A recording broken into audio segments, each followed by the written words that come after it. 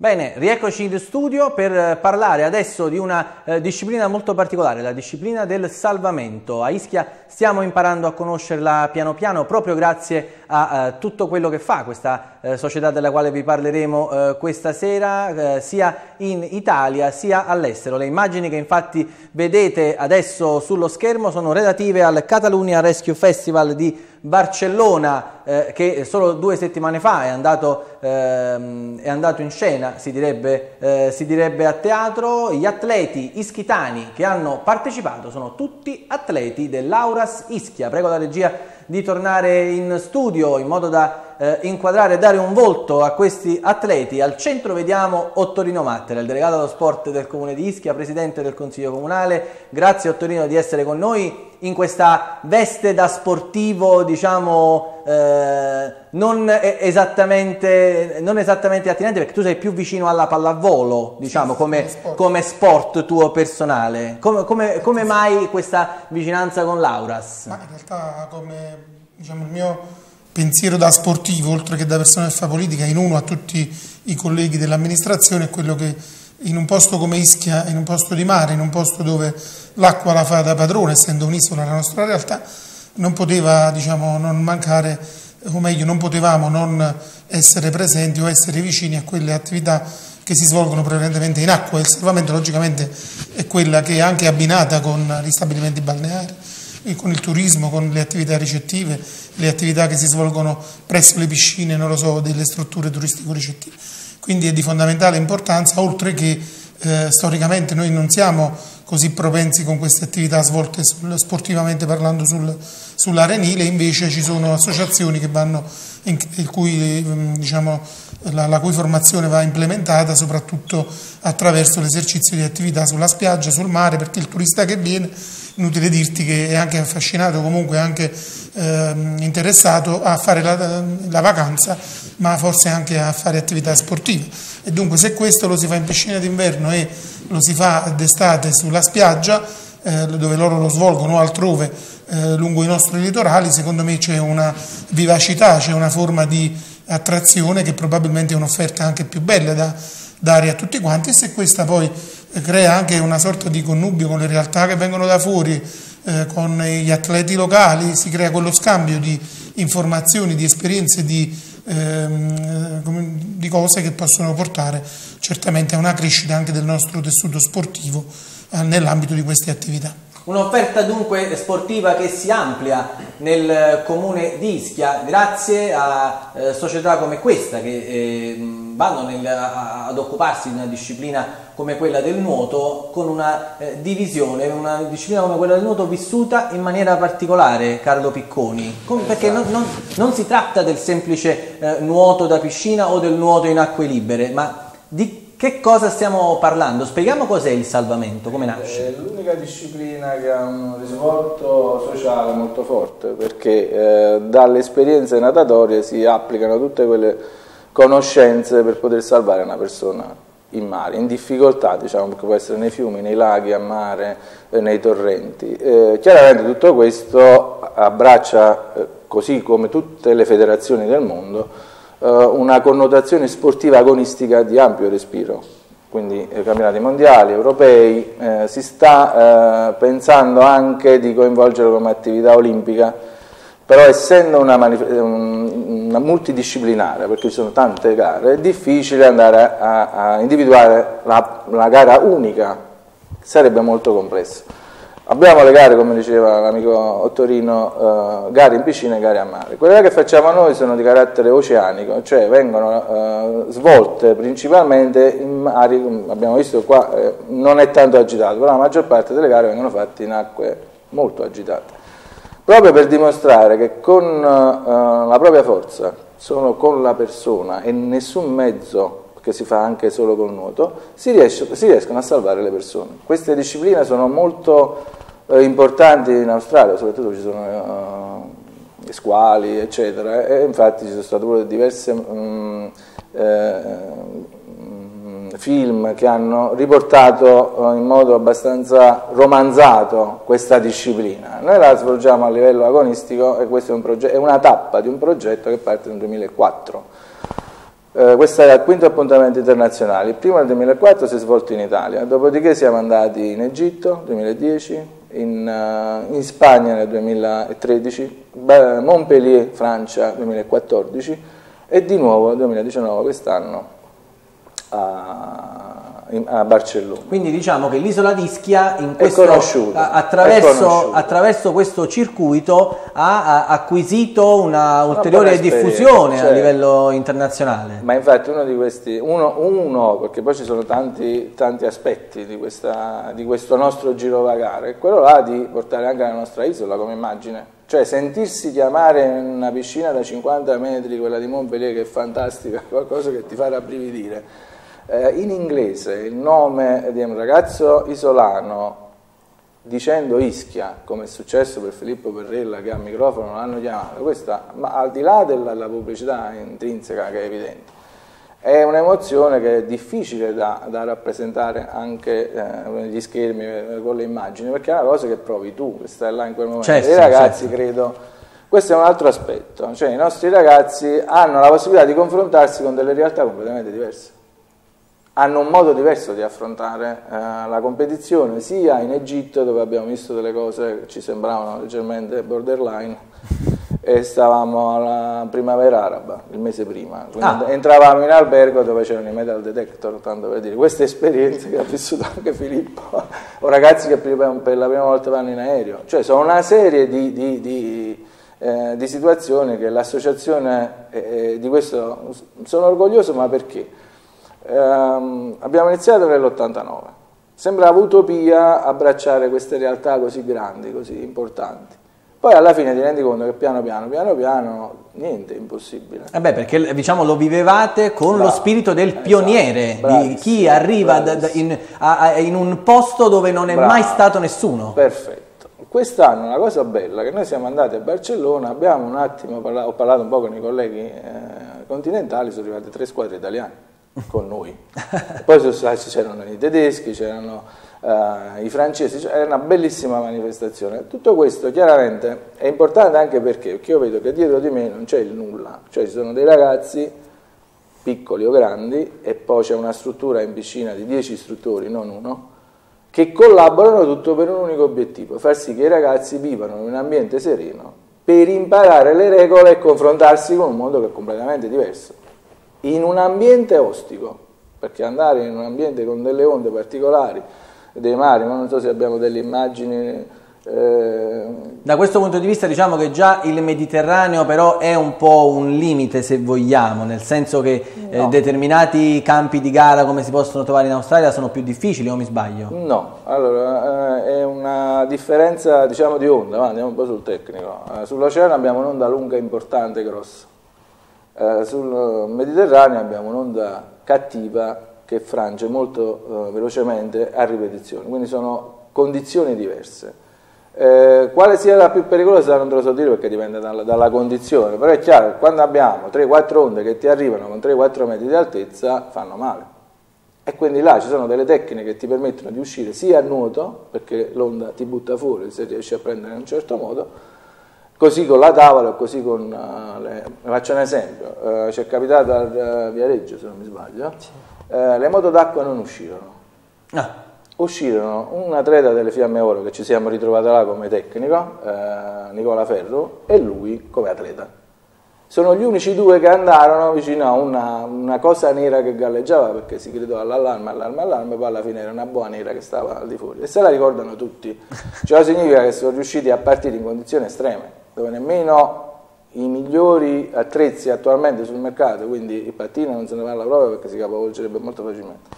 La moto d'acqua non è riuscita proprio a partire dalla sabbia per queste onde che eh, si infrangevano molto velocemente e ripide e loro sono usciti con la tavola, senza però sono tornati senza, senza danno. Con la tavola? Con la tavola. La tavola sarebbe... Una, una, sì, forse la, la vedremo in un altro, dopo, in un altro esatto. uno degli attrezzi, perché diciamo si fa Eccola anche qua, come si direbbe a corpo libero, però esatto. si, si, lavora anche con degli attrezzi, diciamo. Sì, degli attrezzi che però sono spartani, mm, cioè sono sì, certo. il minimo indispensabile per mantenerti a galla e per mantenere una persona sopra. Un pezzo di carbonio? Eh, anche carbonio, resina normale, il carbonio andiamo nella sofisticazione, mm. perché anche in questo ci cimentiamo, poi dopo lo dirà Filippo, perché ehm, la nostra struttura riesce anche a, a progettarle, le tavole, ah. è riuscita anche a farle costruire in cantieri, c'è un, un, mondo dietro all'Auras eh, e, e, e, devo dire grazie a tutti i ragazzi che, e agli istruttori che non sono qui presenti, altrimenti lo studio non, non riusciva a contenerli. Sì. Eh sì, pure perché partiamo dall'attività per i disabili anche quello è un'altra sfaccettatura, un'altra piccola finestra che per noi è enorme perché là ci assorbe molto. Eh, portare questi ragazzi a fare delle gare e metterli nella condizione di essere uguali a tutti quanti, credo che quello è il top che possiamo... Che poi anche da quel punto di vista diciamo che dovrebbero esserci delle eccellenze se non Come no, vado errato, almeno Dio, due. Eh, sì, sì, e, e Crescenzo, di Crescenzo che sono due ragazzi che si sono distinti anche a livello italiano e hanno partecipato pure a Lignano Sabbiadoro, cioè come vedi eh, il nostro mondo è molto variegato, però è chiaro che là se non ci sta Agnese, se non ci sta Lara, se non ci sta, cioè non ci sta eh, tutti gli istruttori dietro, che ognuno si abbraccia una croce, una sua croce, dire, esatto. e va avanti, la persona non avrebbe motivo di esistere, avrebbe... ecco perché dico, sono contento di vedere che dall'89 ad oggi si è costruito un qualcosa che esiste, che c'è. E poi l'ultima chicca che abbiamo avuto quest'anno, nella quale eh, ne ha conoscenza credo adesso solo il Presidente del Consiglio, ma a breve le daremo diffusione. Siamo centro di formazione per queste discipline e di specializzazione per tutta la Campania. Ah, questa penso Ed è l'unica una... realtà del centro-sud. L'unica realtà, perché certo. questo se da, un, se da un lato inorgoglisce dall'altro fa barabellire, fa tremare un po' i polsi, eh. ma no, perché pure perché sono tappe e sono tutte cose che poi vengono segnalate da Roma cioè, noi comunque io sono un coordinatore regionale della Campania, però eh, questo perché? Perché negli anni si è svolta un'attività, quindi poi Roma ti chiede di fare delle altre cose. Certo. Una di queste era perché a sud abbiamo poche attrezzature. Noi ringraziando Dina abbiamo tante, le produciamo pure, in numeri molto limitati chiaramente, non è che possiamo fare i negozi, però per l'atleta riusciamo a calzare qualche tavola che sia anche eh, particolarmente... su misura. Esatto, eh sì, certo tutti gli attrezzi arrivati a un certo livello devono essere su misura.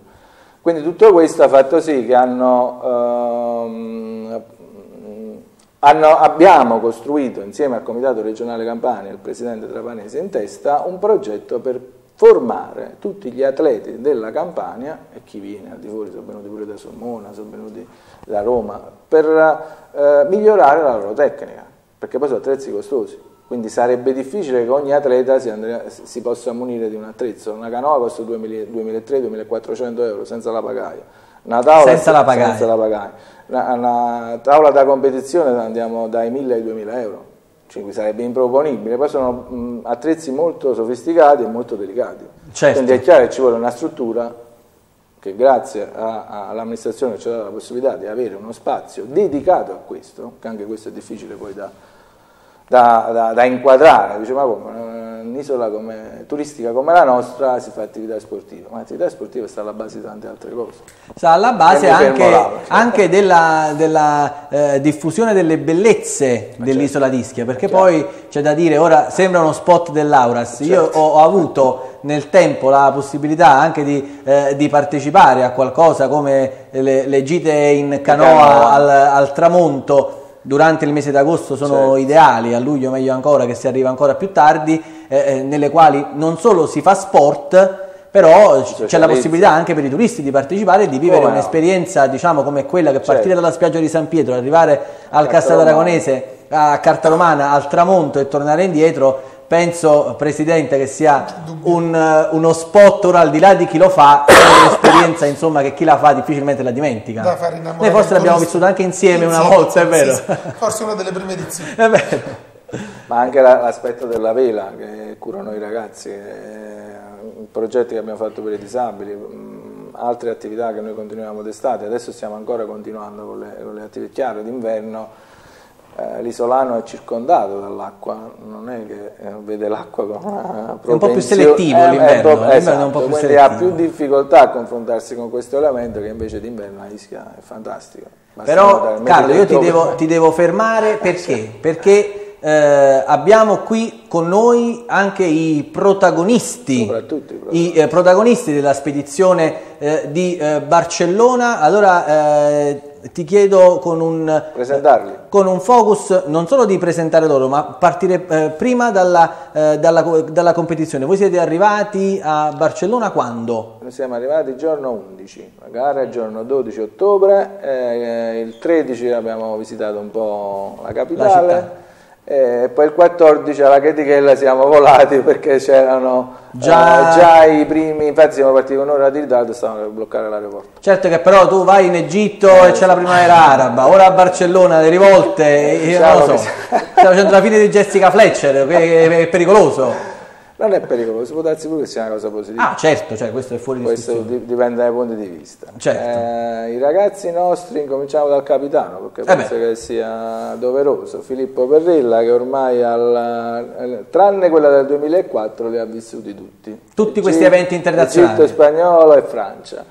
Poi ci sta... mm, eh, Facciamoli Vincenzo vedere Tra- anche se riusciamo, non so. se- Vincenzo Trani, che è la prima esperienza, è, è riuscito a, a venire, a- è riuscito a, diciamo a qualificarsi perché si era qualificato. Questo è. Manuel, questo è Manuel, Vincenzo No, no, è l'altro. Vincenzo Trani Vincenzo è quello tutto a, tutto a sinistra. C'era una, de- Vincenzo. c'era una norma del regolamento che ci impediva di portare ragazzi al di sotto di una certa età. Poi ci hanno dato la deroga solo per i finalisti di un campionato ILS, che sarebbe quello eh, riconosciuto a livello eh, internazionale. Eh, Vincenzo Trani, finalista a canoa, ehm, Mi- ehm, Mira Mira, Boccafuso. Invece ha vinto il titolo, il titolo italiano. Ha vinto il Quindi, titolo italiano il titolo con la italiano- canoa. Giusto Mira, parla, parla al microfono però. Parla al microfono. Tu, campionessa italiana, tu sei classe 2000? 5. 2005, quindi parliamo di 14 14 anni. Stiamo parlando di ragazzi, ma sono tutti bravissimi perché comunque molte volte rinunciano anche a delle proprie esigenze che sono quelle della gioventù, dell'età, Certo. per venire ad allenarsi al mare o in piscina. E questo c'è da, da rendere merito a questi ragazzi che sono stati fantastici. Poi Calise Emanuel, anche lui, ehm, ricordami... Diamo, diamogli il microfono, Ah, il microfono a ehm, Manuel. allora, questo è il terzo di questa manifestazione, è l'aiut. Mm. Che cosa significa? Allora, noi abbiamo un campionato italiano dove ci sono le categorie italiane. Certo, Però, essendo riconosciute a livello mondiale, si abbracciano le categorie internazionali. L'aiut, a differenza della nostra categoria per la quale lui è il primo anno, se non mi sbaglio, no, il secondo anno, la categoria ragazzi, nell'aiut è il primo anno, però si confronta con ragazzi che hanno tre anni più di lui. Sempre vissuti in quella categoria. nella stessa categoria e lui è arrivato terzo. Primo anno è arrivato terzo con persone che hanno tre anni più di lui, quindi per noi è stato, il successo è stato quello, diciamo, cioè aver- eh, essere riusciti a mettere su un atleta che va a competere a livello nazionale con i tempi degli internazionali. Eh, penso che questo, più di questo non potevamo chiedere. Eh, quindi Calise Emanuel e Mira Boccafuso, come abbiamo detto prima, campionessa italiana. Che però a Barcellona ha portato... eh, esatto. Eh, noi valutiamo l'accesso in finale. Mm. Perché l'accesso in finale? L'accesso in finale di un atleta significa che ha già superato le eliminatorie e eh, le, le semifinali. Cioè significa che sta nei primi 16 di quella competizione. È chiaro che poi la, la- la gara secca te la puoi giocare e può succedere di tutto, come è successo a Mira che in un'altra gara che doveva arrivare terza canoa, giusto? Si è capovolta la canoa tre volte. A lui addirittura, agli italiani, era primo, A Vincenzo. a Vincenzo, essendo la prima volta, la prima competizione che faceva di un certo livello, ha leggermente, poi ve la racconterà lui meglio, eh, ha leggermente perso le staffe, ha buttato tutto all'aria, è arrivato settimo, ottavo, alla fine, decimo, era primo. Ah, ah, Eh, Però eh, là, là paghi lo scotto dell'esperienza, perciò è importante che poi un'associazione ti metta in condizione di avere più esperienze possibili. Vabbè Vincenzo, me lo, me lo racconti questo episodio? diciamo? noi, noi ci conosciamo, non è uno scherzo, abbiamo fatto eh, eh, vela insieme, Vincenzo è stato in un'uscita anche diciamo eh, un supervisore, un supervisore quindi, però raccontamela questa cosa, dove vi trovavate? Ci trovavamo a Riccione e quest- era, il primo anno, eh, era il primo anno ragazzi. Eh, era la finale diretta, ci trovavamo io e Manuel. E, Eh, tu, e- tu e Manuel, tu il tuo compagno in una finale insieme? Sì, sì, io mi riesco subito a liberare dalla partenza e mi riesco a posizionare primo. Al giro della terza boa, prendo male un'onda e cado. Dopodiché arriva un'altra onda che uh, non avendo afferrato subito la canoa, l'onda si è portata via la canoa e quindi io ero rimasto un attimo in acqua disperato e la, la canoa intanto stava lontano da me e poi uh, piano piano la sono andata a riprendere. In tutto questo tempo hanno, gli, gli, avversari ovviamente mi hanno sorpassato e sono arrivato decimo. Però eh, dovessi tu trovarti oggi in una situazione del genere, No, immagina, immagina, la, immagina, che te la ricordi benissimo quella, quella situazione. Soprattutto per le grida che hai avuto. Eh, in, eh, ti trovassi di nuovo in quella circostanza, dove sarebbe la differenza nel tuo comportamento? Come, come affronteresti un, quello che alla fine resta un imprevisto? L'imprevisto è stato che uh, non ha afferrato subito la canoa perché uh, mi sono girato e ho visto l'onda che arrivava io non ho avuto il tempo di afferrare la canoa. Su quello che po potrei migliorare se, uh, se, ora lo stessi vivendo, afferrerei subito la canoa e la pagaia, uh mhm. -huh. così da non perdere.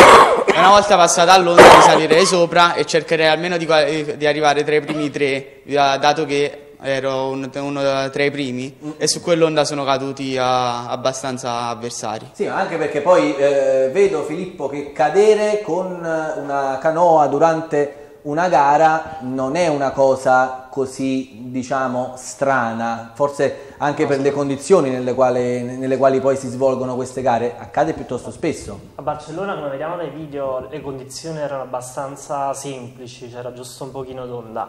A Riccione, dove abbiamo gareggiato, invece l'onda era veramente grande uh, ed erano molto difficili uh, da prendere, quindi la situazione... Mh, veramente abbastanza imprevedibile, tutta la gara è imprevedibile e quindi capita spesso che anche tra le prime posizioni uh, cioè, si può cadere abbastanza facilmente, soprattutto se non si ha esperienza. Se non si ha esperienza. Però non, non è condizioni. che però una volta che si è ribaltata la canoa, diciamo la gara è finita. No, ecco. no, certo, uno risale velocemente e riparte. Per quanto però, può certo, essere difficile immaginarlo. Però spesso va a finire che le canoe stanno tutte nel, in pochissimi metri, quindi cadere ti influenza. Ah, diventa parecchio. poi complicato. Diventa... Le gare sono molto brevi, le gare sui, di canoa sono sui 600-700 metri, mm. durano massimo 4 minuti e quindi cadere comunque... Anche perché influenza. le canoe mi sembra di capire che siano le canoe oceaniche. Sì, sono canoe oceaniche, sono lunghe 5,80 m, per regolamento devono pesare almeno 18 kg sono canoe molto strette dove eh, il sedere entra, nelle, oh, il sedere entra giusto giusto, può sembrare semplice utilizzarle, però in realtà per chi parte da, da, zero è veramente molto molto difficile. Guarda, io ai Maronti, se ti ricordi, molti anni fa non ho fatto un metro, mi sono solo seduto e mi sono ribaltato due o tre volte, ci ho provato, confesso, diciamo, i, i, miei, i miei peccati non mi sono applicato molto però, sono stato un po' debole da quel punto di vista. Eh, ti faccio una domanda, sì. lo possono fare tutti? Certo che lo possono fare tutti. All'inizio cioè, applicando prendere... possono riuscirci tutti? Sì, sì, questo assolutamente, cioè veramente non ci stanno chiunque può portarlo. Dai bambini più piccoli uh, alcune canoe sono, cioè hanno i pedali che stanno in una posizione, altre canoe i pedali sono regolabili, quindi anche una persona più bassa, come può essere un bambino, una persona più alta uh, la può utilizzare tranquillamente. Tutto sta che ci si mette, prova, ca cade mille volte, però piano piano si impara. Piano piano si impara. Uh, Manuel, tu uh, questa tua uh, gara di, di, Barcellona, se ti dovessi chiedere di, di raccontarmela, la tua esperienza personale, co- com'è andata? Uh, per me è andata abbastanza bene, un'esperienza che rifarei molto volentieri. A livello di gare mi sono qualificato in finale canoa. Uh-huh.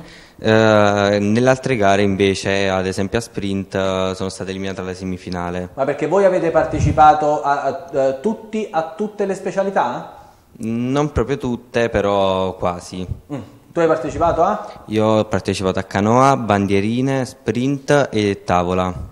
Canoa, bandierine, sprint e tavola. Sprint, che poi come com'è questo sprint? Anche se forse lo dovrei chiedere a Mira come sì, perché... lo sprint. Passa un attimo il microfono a Mira perché tu sei arrivata terza nello sprint, ma come si svolge una gara di sprint? Perché io non lo immagino. Vabbè, praticamente parti da un inizio che sono 90 metri di corsa, se non sbaglio, cioè 90 metri, e praticamente la, si fanno le semifinali e le finali. Le finali si dividono in finale A e finale B. Se fai la finale B eh, e fai prima, guadagni solo punteggi. Mm. Invece eh, la finale A, se fai prima, seconda e terza, vai, puff, eh, fai guadagni eh, punti e, e, prendi e, medaglia, sì. e, prendi la medaglia. Però è, è, è, tipo i 100 metri piani, Carlo? È una, uno scatto sulla sabbia. Lo scatto sulla sabbia, la partenza è all'impiedi, non è con i blocchi. Non hai blocchi ah, si parte in piedi, tutti sì. in linea ovviamente. Puoi anche partire da giù, però essendo sulla sabbia non ha un grosso vantaggio. No, no, non c'è un grosso vantaggio. Da segnalare una cosa, Mira è nato nel 2005 e a Barcellona era la categoria più piccola che poteva essere ammessa alla manifestazione e lei è arrivata uh, cioè con la sua età terza assoluta, non della ah, sua lei è arrivata terza, terza assoluta. assoluta. forse non l'abbiamo, sì, non l'abbiamo ha, sottolineato abbastanza. Ha gareggiato, se si, ha gareggiato con tutte, cioè in realtà tutte le gare erano tutte assoluti, quindi senza differenza Perfetto. di età e Mira in questo è riuscito ad arrivare terza contro avversari che comunque erano di altissimo livello. Ed erano molto più grandi di lei. Assolutamente, lei eh, era la più piccola. Come nazioni, di quante nazioni parliamo coinvolte in questa gara di Barcellona? Sette, eh, nazioni. Sei nazioni. Sette nazioni. Sette nazioni. Sette nazioni per un to- circa 150 atleti, mi sembra che di ricordare, una, una cosa del genere. Quindi in questo contesto diciamo che eh, Mira è arrivata terza eh, il nuoto, eh, diciamo, eh, questo tipo di attività sono quelle che preferisci, perché diciamo chi segue un po' il mondo eh, dello sport anche che riguarda la corsa, il triathlon, un po' ti conosce, nelle gare eh, sull'isola eh, comunque ci sei, quando non vinci comunque ci sei, ti piazzi bene, ehm, hai un rapporto speciale con, con l'acqua o è semplicemente un'altra cosa che fai? Ma per cioè, cioè, ti metti e impari la disciplina. A me piace soprattutto eh, la canoa. La canoa. E sprint. Mm. E, cioè, è uguale. La canoa nella quale eh, lei ha vinto il titolo italiano, ma il titolo italiano della, della, della, sua, sua, categoria. Della sua categoria. Sì. Della sua categoria. Quando, quando, è successo tutto questo? A Riccione. A Riccione, quindi in estate? Il 30 maggio. Sì, fine 30, maggio. Fine maggio. 32 maggio. 30 maggio 2 giugno, era una serie di eventi, cioè tutte le gare messe in questo range di, di data. Eh, ma senti, ma tu poi quando un tuo atleta, Carlo, prende un risultato del genere... Non cambia nulla. Non cambia niente, non ti senti una persona importante? Assolutamente perché semplicemente... Allora, una persona si deve sentire importante quando gli viene fatto un regalo. Quando è costruito nei minimi dettagli, eh, con un lavoro dietro, è semplicemente la fine di un lavoro, punto. È l'inizio di un'altra preparazione. Infatti tra un po' inizieremo a preparare le eh, già, perché quali sono i, i, prossimi appuntamenti? Perché immagino che l'inverno non vi fermi, Filippo. Assolutamente, no, abbiamo le piscine, adesso la piscina inizia a novembre, mm. eh, le, i campionati regionali. Eh, già stiamo preparando, penso, spero che dopo Filippo mi dà una mano, eh, mh, mm, perché abbiamo già dei collegiali programmati dal primo al 15 maggio a Ischia. Ciò significa che verranno i migliori 16 atleti di ogni categoria, categoria della Campania ad allenarsi a Ischia, dove avremo un tecnico della nazionale, Gianpaolo Longobarda, che è anche tecnico della, del Posillipo, ci sarò io e ci saranno altri due tecnici che ci aiutano, Alfonso Abate e, e penso Filippo eh, che ci aiuta eh, sulla spiaggia. Questo perché? Eh, proprio riallacciandomi a quello che dicevo prima, i ragazzi non possono arrivare impreparati agli impegni così grossi, quindi la preparazione è tutto l'anno, non è che la stoppi, è impossibile stopparla pure perché le gare sono tante, eh, quest'anno abbiamo saltato l'Ocean. Mm. L'Ocean che sa, chi la spiega l'Ocean? Vincenzo, spiegami quest'Ocean, saltato, cos'è l'Ocean? L'Ocean, uh, per, vabbè, per i maschi si chiama Ocean Man. Mm. Uh, L'Ocean è, una, è, un misto, uh, è una gara che è un misto tra canoa, nuoto, tavola e corsa.